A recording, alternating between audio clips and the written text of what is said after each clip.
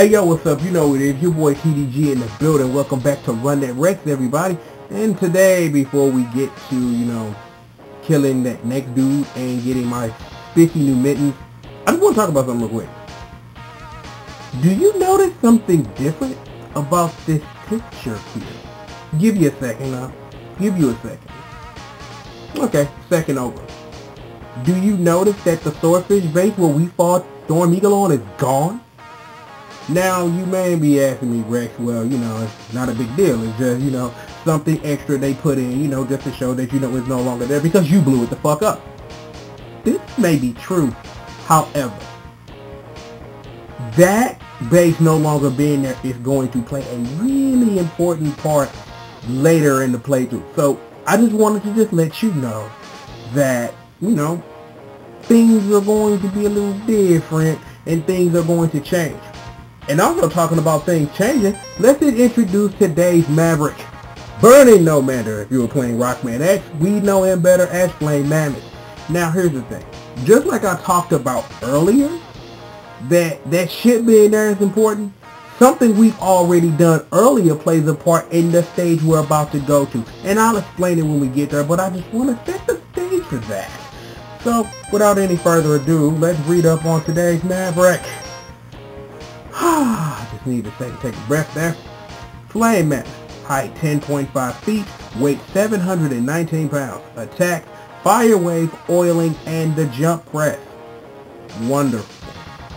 But luckily for me, this won't take any long because I have the Storm Tornado, which happens to be your weakness, which I don't really get. Now that I think about it, is that he shoots fire, that wind, and wind and fire don't mix, so I really don't understand like how the Storm Tornado is your weakness, but I don't even care. I don't even care to think about it or explain it, but you know, we do what we gotta do. Now, Remember we talked about a minute ago about when you do certain things, other certain things happen, which is a cool feature of Mega Man X? You see our floor? It's covered in snow. Wanna know why? I put a bullet in Icy Penguigo's head. When you do that and you come to Flame Mammoth stage, it puts this ice on the floor and it turns what used to be lava into frozen ice so that you can traverse it. Now, the thing is an item we are going to collect later hinges on us doing this. So that's important too. And look, we're already at the base. Now if I can make it now if I can just make the damn jump without embarrassing myself, or this taking way too long. Okay. There we go. Don't fall off. Yeah, don't fall off X. Thank you, sir. Daddy! What's up, Pops? What's going on? Okay. This capsule contains a part which will increase the capabilities of your X-Buster. You can use it to fire all types of weapons. Now,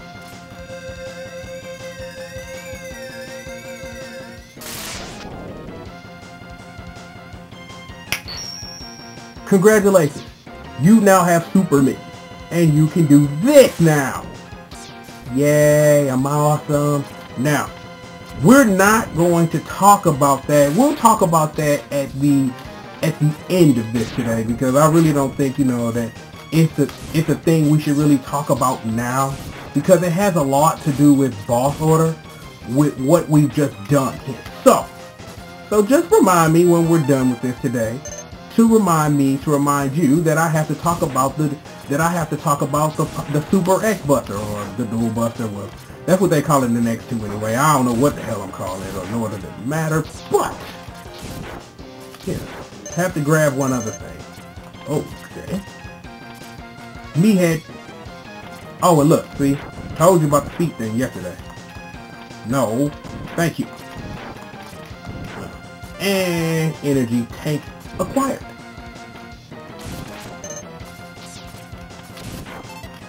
I love the shotgun knife. It's, it's like for real, it's a really underutilized weapon I see when people play the game because combined with an Excel shot, the shotgun knife does a lot of damage and it also gets that that blowback afterwards. So, oh damn, I get hit by that and almost died. Woohoo!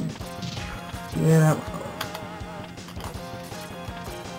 Now, well, we're reaching the end, and I hate this part. I really like you. And you're dead. Oh, wow. And, well, that's it.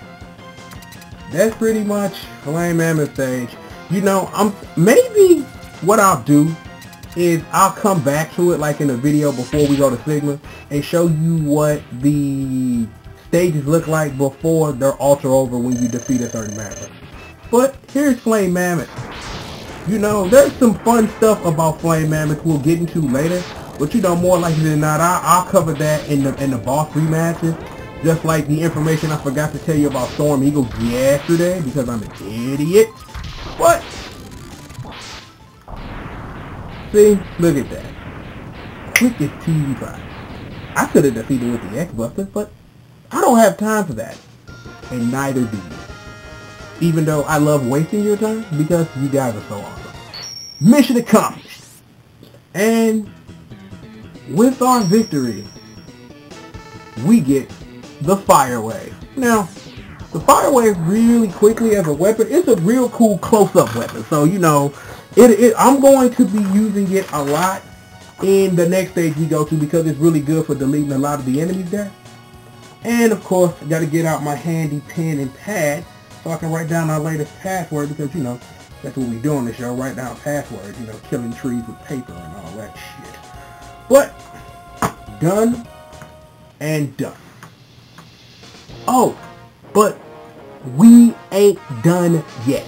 Got something to do. Give me a second yeah, we gotta go see about this penguin again. Because if you remember the second video, there was something. Oh, why the hell am I not using the storm tornado? Uh, storm tornado! Love this weapon. It's so broken. It's like, once you get this weapon, you there's really nothing you can't really do against most normal enemies. So, it's like, yo, I, I like, I love the storm tornado. I'm like, it's like, I wouldn't sit up here and like say it's on the level of a metal blade or or something like that, but it is a powerful weapon. It takes out your enemies, you know. Not really that much of fuss about it. I just love it. Well, guess being the time is any.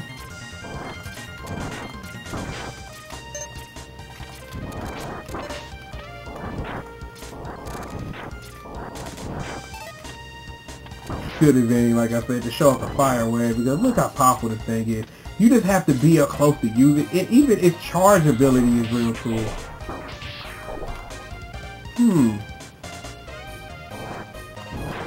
Alright. Hmm. Okay, can't shoot it with the buster. Oh, but I can shoot it with that! Bingo! The only other way you can get up here the only way you only other way you can destroy those is with a mech punch, and I think there is a tool assisted way to get up here and punch it with a mech punch so you never have to come back to this stage again. But probably the first and last time you'll see me use the escape unit because there's no reason for me to finish the level. Oh. Oh, and here's another password. I didn't really even think of that, that I will be altering again that month that I will need to write down another password, but whatever the hell. 1728 8516. Booyah. Well, now we're done for today, everyone. Maverick 3 down. Now, this is the part of the game I talked about in video 1, where things go a bit different, and also to explain the dual bus and stuff, so I'll do it all at once. Here's the thing. Storm Eagle and Flame Mammoth in boss order are supposed to be the last two maps you defeat. And here's why that's interesting. In order to get, in order to get the super mittens, you have to have the headbutt and, the, and you have to have the headbutt and the dash boost in order to get them so you can break the bricks and have a high enough jump to dash up there and break that brick. Here's the thing though. Spoiler alert. In order to beat the game, you have to have the super mittens. So if on the off chance you don't pick up the super mittens from Flame Mammoth, you get it in the first, and you get it in the first Sigma level, regardless of what you've done to that point. Not going to say how, but most people know, but you know, for people who are watching this and never played the game before, I don't want to spoil that part, but that little spoiler is that no matter what, after the first Sigma stage, you will have the dual buster. That's just something that happens. And how that tie, and like I said, that just ties all into boss order, is that you're not supposed to have these items to the end of the game, but because I jumped around and got three out of four armor parts already, you know, it's just important that, you know, that we state that as what we're doing and how it's going down. From this point on, usually, honestly, I would go after this fellow and I will resume boss order going around. However, which I will keep to myself, is that I'm going to hop around a little bit because this is like the like the first or second time I've actually, you know, done this boss order because I saw it in actual speed run and looked at it like what the what this boss order will do for me is that I won't have to do any more backtracking for the rest of the game. And that's important because I don't want to sit up here and play a stage after a stage before I end the video. And on top of that, you know what I'm saying? They try to condense it as, as small as possible and as less videos as I can to get through the game. So that's important. The Maverick in question though, that'll stay with me until next time. So you guys tune in for that. You know, like I said, three Mavericks down, three armor parts, and we gonna get busy. So, you know what it is. It's your boy TDG. Run that Rex, man. I'll holler at y'all later, man. Peace out.